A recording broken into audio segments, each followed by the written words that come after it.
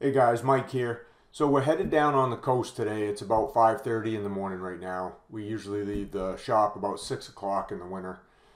We got our mud slab we're doing. We've already been here once. We poured the basement slab. This is about two weeks later. We could have poured both these floors at the same time, but we just couldn't get enough concrete. So we're going to go back down. We got two trucks coming. Conveyor trucks coming first, and then just a regular mixer after that. So let's head to the job. Good morning, everybody. We're back here on this job. We poured the basement floor a couple weeks ago. Now we got a like a mud slab, rat slab type floor we got to get so they can get this decked over. Getting the concrete, getting the conveyor truck stretched out now. So. You didn't, you didn't get the Knickerbocker memo? No, what? What's the memo? I'm Sorry, what? There's literally signs on the jobs. No video cameras, nothing. Where is it? Where are they? It's not on this job, but they're on Oh. the rest. No videoing on the job sites, nothing. Why? I haven't. Uh, I don't know, but two I, uh, jobs. So for whatever reason, the GCs that we're working for here today must have some signs on their other job sites that say no video camera. And I didn't see any on this job. Personally, I just think that's a little ridiculous. I don't know if they're trying to hide something or what, but let me know what do you guys think down in the comments. You, you think video and something like this is you think there's something wrong with it or or whatever. Let me know what you guys think. Uh, but I'm gonna go ahead and video us pouring this because I like to show you guys and teach you guys what we do and how we do it. So I think it's it's really good, valuable information. I think for those of you that want to learn. So here we go.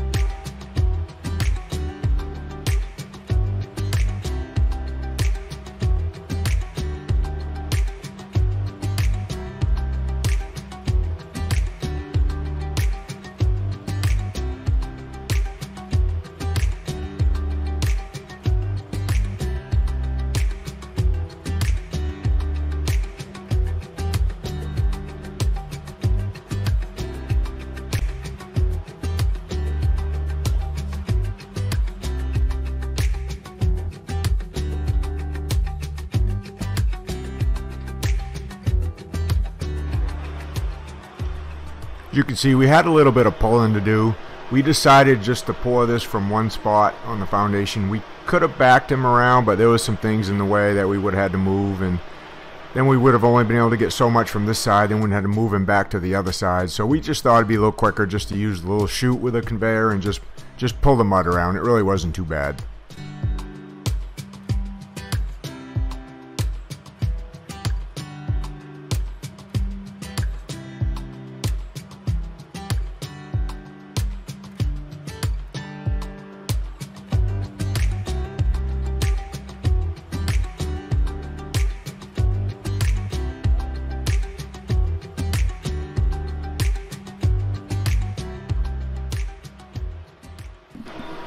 The one nice thing about the conveyor is once it can reach where you want it, it puts it it puts it right down on the ground pretty nice. I mean, I know a lot of you guys don't have access to a conveyor truck, but if you ever do, you know, I would I would recommend trying it. It really makes pouring easy, and then one guy can pretty much do the breaking down like what Darren's doing. Then wh- whoever else is with you can go mag edges or shoot grades or do whatever they need to do. So it it almost eliminates a man, I think.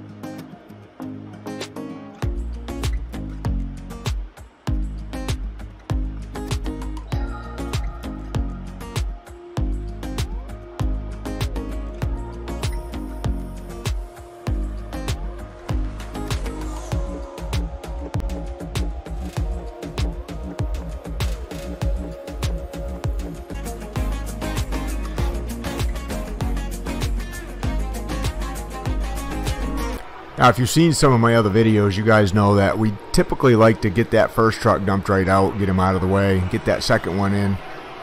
And it gives us plenty of mud to work with. We, we know that we can get it down pretty fast.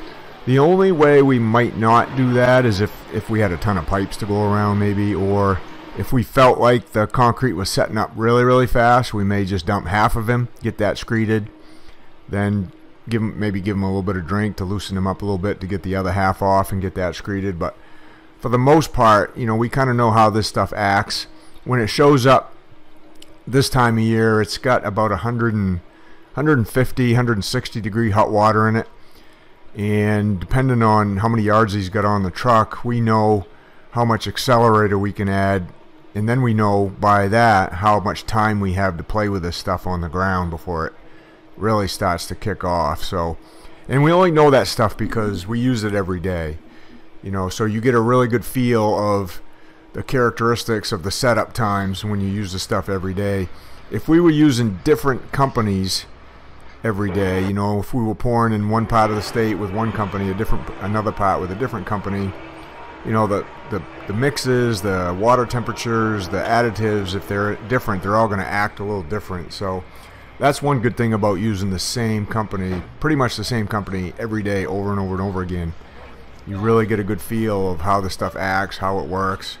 You know when it's going to set up quick, when it's not, how it's going to finish. So that's that's a little bit of a bonus use about using the same company, the same batch man, having the same drivers, knowing uh, how fast they spin their drums on the way to the jobs. Um, telling them what you want for a slump and they can mix it right up to that slump the first time. All that stuff adds up to uh, being a really big deal, you know. So we kind of count on them as well as them counting on us for work. So it goes two ways. Today, the stuff, we didn't put a lot of accelerator in this today because we knew that we didn't have to finish it. We didn't have to hand trowel it. We didn't have to power trowel it. All we had to do was bull float it. So we knew we had plenty of time to work with this stuff so we could get that first truck dumped right out and get him out of the way. It really, it takes longer just to get the concrete off the truck and get it laid down than it does screeding it and bull floating it really. So for us anyway, that's that's the way we like doing things.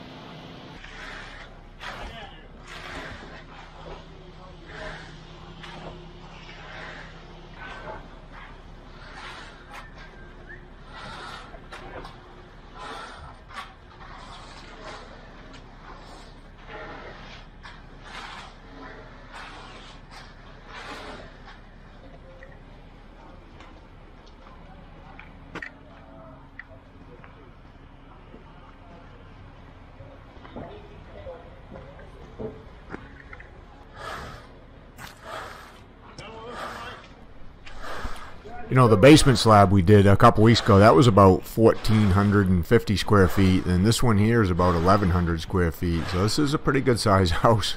It's going to be nice when it's all done. It's got a pretty good view of like an inlet to the ocean. It's not it's not pure ocean, but it's there's a water, pretty nice water view you'll see at the end here. But these guys that we're working for typically build pretty big houses right on the ocean, so they kind of they, they do know what they're doing. They got a good reputation for building really nice houses.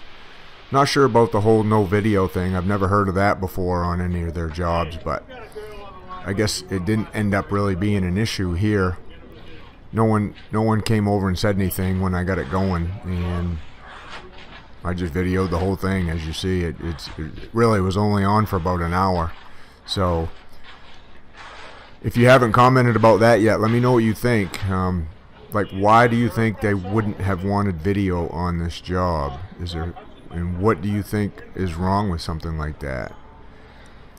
If uh, I mean, if I'd have seen that sign and somebody would have been here and said you can't video that, I just, you know, obviously I wouldn't have videoed it. I wouldn't have argued with them. It's not that big a deal, but really, I mean, it's just a residential job. It's not a commercial job.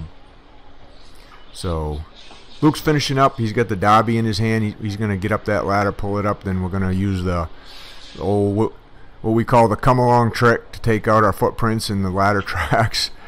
And let me know if you guys use the same trick or if you've got a different technique.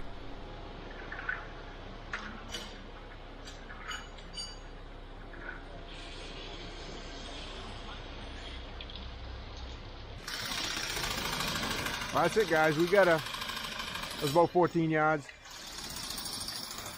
That's all we got to do, just bull float it. Again, thanks for watching. We'll see you on the next one.